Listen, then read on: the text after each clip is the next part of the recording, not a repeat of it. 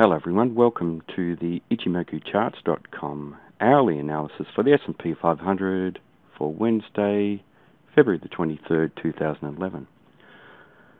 The market opened the, the uh, day's trading with a red-bodied candle and that red-bodied candle was testing the uh, potential support down around the 1312 region. The following candle was a green-bodied candle and actually gave us a harami type pattern uh, this was a potential bullish reversal pattern, and that's where the body of the current candle is engulfed by the body of the previous candle. No change of trend at that point in time. The trend was still down.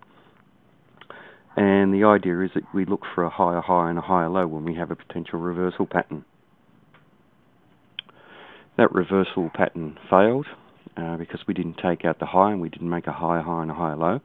The market subsequently uh, followed in the next hour of trading with a very bearish red body candle, a large red body candle, which penetrated into this large region of uh, support that we highlighted with this yellow box. And we can see here back at this previous trading where the market uh, attempted to trade above the upper boundary of that, found support down the bottom of that. But if we look at all of this type of trading in here, it's very indecisive trading with a lot of small bodied candles and uh, shadows on the top and the bottom of these candles. So uh, it's a very uh, strong area of uh, potential support. Now, the market did eventually find support down in that area, and the market uh, was trending down in the first time frame.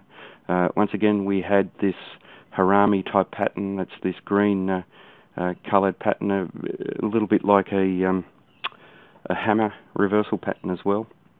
And we had this very strong shadow on the bottom of the candle and the previous candle, and that represented buys coming in. So we started to see the sellers starting to lose some of the power that they had throughout the uh, trading day and the previous few trading days. Uh, green body candle, potential for a reversal, and we had that reversal with a large green body candle that actually traded outside the top of the um, area of uh, potential uh, support. So that's now acting uh, as, or it was had potential to act as resistance, and the market just blew it away with a very strong red body candle. However, in the final hour of trading, we still had a continuation of the trend to the upside, with a, the market making a higher high and a higher low, but a red body candle. Now this uh, red body candle closed down towards the low for that final hour which means that the sellers actually close that final hour in control. So we do need to be on the lookout for a potential lower high and lower low when we open that first hour of trading uh, in um, tomorrow morning session. Now, with regard to the Ichimoku clouds, we are still trading down below the clouds, so we, the market maintained its overall negative bias on the hourly charts. The market's also trading below the Kijun Sen, and the, the Tenkan Sen only just. So the market is negative in the medium-term time frame and slightly negative, more so neutral because it's very close to the Tenkan Sen in the fast-term time frame. If we look at the Kijun Sen, the Kijun Sen has turned flat. And when the Kijun Sen turns flat, it tends to attract price action. That's what's happened in these previous two or three candles. The price action is being attracted back towards there. Because of that, we do need to watch the high of the current candle for a potential um, continuation of the uptrend. So if we do uh, see a bullish uh, bar in that first hour of trading, then there is potential for the market to trade up to around 1322, where we have uh, potential resistance offered by the Kijun Sen, and then certainly up to the bottom of the cloud and this area of previous support and resistance, which is around 1325. So there is potential for the market to retrace all the way back up there.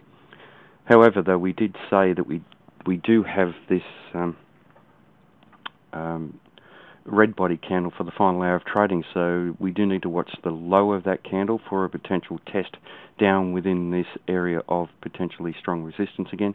And certainly we have uh, good support extending down to around just below the 1300 level. So we know the 1300 level is uh, a round number, so that by itself will offer potential support, and that's exactly what's happened here in this hour of trading where we saw, saw the buyers coming in. So that was an area where the buyers decided that the market was value again. Round numbers are very significant to uh, to all markets. just looking at the Chikou span here too, that's this grey line, and we compare that to the corresponding price action, and it's below, and that's confirming the negativity that we're seeing in the market in the longer term time frame. So uh, we have our areas to look for for tomorrow's opening of uh, trading, the high of the current candle, the uh, low of the previous for any potential sell-off. Uh, the market is uh, trending down in the second time frame, trending up in the first time frame, uh, but there is potential for the market to continue the trend down in the second time frame as well.